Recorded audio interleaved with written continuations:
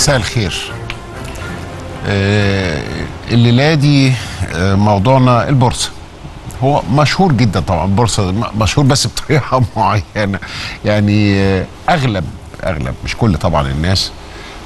يعني في ارت- ارتباط شرطي كده بين البورصة وبين مآسي إنسانية يعني علا- علاقتنا بيها جيلي ويمكن كمان جيل قبلي. ويمكن بعدي كمان ال- الأفلام الأبيض واسود اللي فيها مشهد شهير متكرر بصياغات مختلفة لكن اللي بيحصل إنه فلان ده الباشا فلان البي فلان الأستاذ فلان أفلس لأنه آه، فقد كل ثروته في البورصة. وفي بقى حاجات يعني طريفة يعني إنه س- إن اللي أفلس ده يبقى عنده بنت فتضطر تروح تتجوز واحد غني أو تحاول تتجوز واحد غني أو تقبل بالجواز من واحد معين لأنه فقط لأنه غني علشان باباها فقد فلوسه في البورصة أو العكس إنه واحد آه، آه، ولد يفقد أبوه فلوسه في البورصة وثروته في البورصة ف آه، يقبل يتجوز واحدة ما بيحبهاش أو بس لأنها غنية. يعني دي الصورة الكاريكاتورية. لحد كبير لكن الجزء بقى المهم الجد في الموضوع هي إيه البورصة دي؟ إيه البورصة دي؟ ده آه، آه، ده ده سؤال مهم ومركزي. وما فائدتها الاقتصادية؟ و آه، ربما كتير من الناس يبقى شايفين اللي ملهاش فايدة دي هي مجرد مضاربات وبتصنع ثروات لبعض الناس لكنها بلا آه، مقابل آه، يعني ثروات بتتعمل من الهواء لكن بلا مقابل إنتاجي بلا تأثير مباشر على الاقتصاد الوطني وعلى حياة الناس كمان.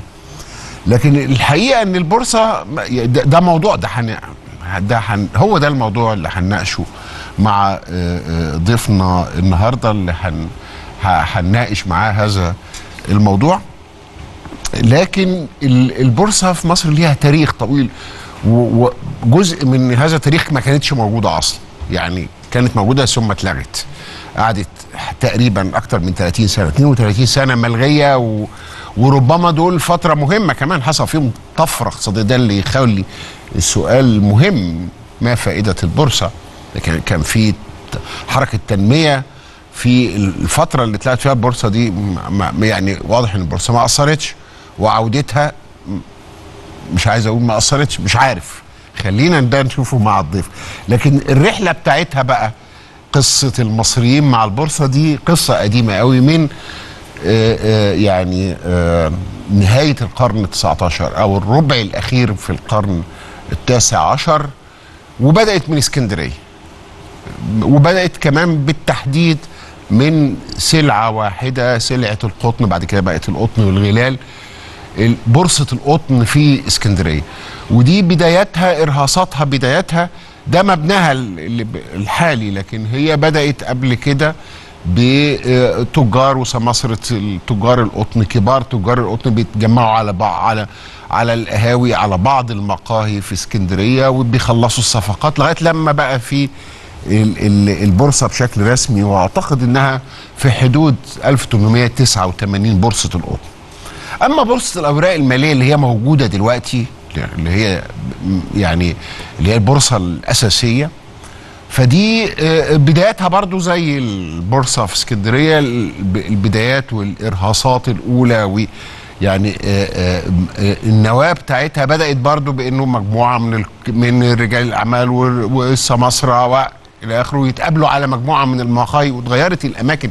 يعني مقر البورصة الحالي اللي هو ده ده في في على الشاشة ده ده اتفتح سنة افتتح سنة 1928 لكن وجودها الرسمي آه، آه، آه، كان من قبل كده بكتير بأكتر من 20 سنة من ربما من تاريخين عندنا ال- 1903 و1909 لما صدر أول آه، آه، آه، قرار صدق عليه كان وقتها الخديوي عباس حلمي الثاني بلائحه للسماسرة لائحه قانونية لعمل تنظم عمل السماسرة في البورصة. ده 1908 لكن الحقيقة إنه يعني ال ال ال ال البداية كانت الأكثر جدية بتأسيس شركة لل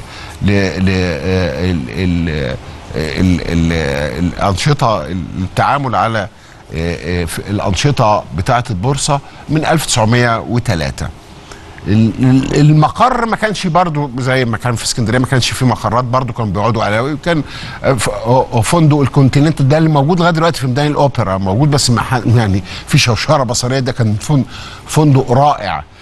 في في ميدان الأوبرا ميدان الأوبرا القديمة يعني مش الأوبرا الجديدة ميدان الأوبرا اللي اتحرقت. في ميدان الأوبرا موجود لغاية دلوقتي على شارع الجمهورية. كان فترة قعدوا كانوا بيقعدوا عليها كبار السماسرة والتجار. ومكان تاني في في برضه في قلب القاهرة في اللي هو مكان جروبي دلوقتي في شارع عدلي كان وقتها مقر البنك العثماني. مقهى في لازولي في ميدان لازولي مقهى نوبار وأظن هو فضل فترة طويلة حتى اسمه مقهى البورصة حتى بعد ما اتفتحت البورصة فضل السماسره يتقابلوا عليه بعد ما افتتح المقر الرسمي للبورصة. لكن البورصة فضلت بقى موجودة لغاية بعد ما افتتح مقرها وبقت منظمة إلى حد كبير. توقف نشاطها أوقف نشاطها ألغيت تقريبا تماما سنة 1960 وظلت مغلقة من 1960 ل 1992 لما صدر قانون وقتها بيستعيد البورصة وبينظم عملها سنة 1992 يعني 32 سنة.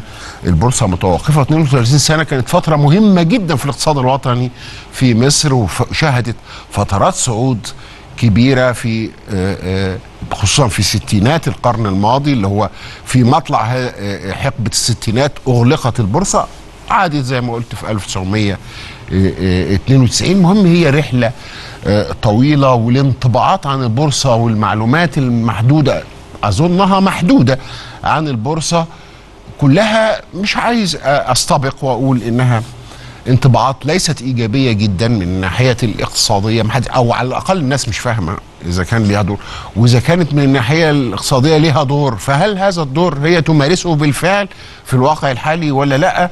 إحنا ال ال ال يعني زي ما بنعمل في البرنامج في أكثر حلقاته بزريعتنا السبب اللي خلانا نفتح هذا الموضوع هو قرار جمهوري صدر في شهر يونيو الماضي ونشر في جريدة الوقائع قرار جمهوري بتعديل بعض أحكام المنظمة لإدارة البورصة المصرية بقى في بقى في إضافة إلى يعني نص القرار قدام حضراتكم لكن هو بجوهره ومضمونه انه في رئيس للبورصة لكن كمان منصب نائب رئيس للبورصة وفي تشكيل لمجلس إدارة للبورصة في ممثل للبنك المركزي وفي ممثل كمان للشركات كبار الشركات المتعاملة وده بتنتخب بينتخب ممثليها في مجلس إدارة البورصة. المهم هو ده القرار اللي إحنا البوابة اللي عدينا منها آه هذه الليلة لهذا الموضوع البورصة المصرية.